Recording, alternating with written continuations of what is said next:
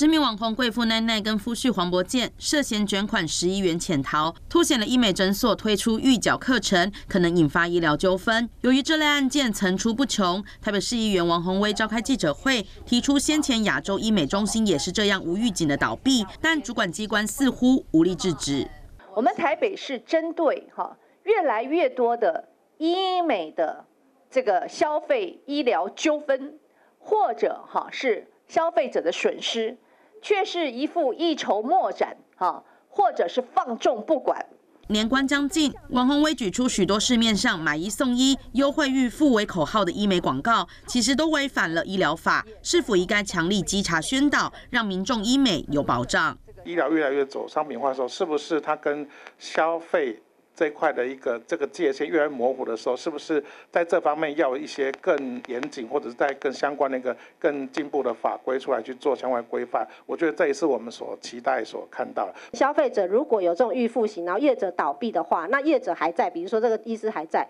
一定得要透过司法的手段，不管是提高诈欺或者是民事诉讼的手段，去要求这个负责医师来负起他应该做的呃退费赔偿的责任。根据台北市卫生局统计，每十件的医疗争议案就有一点三件与美容医学相关。但因为卫福部的法规，让许多向医疗院所购买优惠券的民众无法获得保障。明代希望法务局、卫生局都能够函请中央更改法令，才能够保障民众权益。开播大台北数位新闻曹德华采访报道。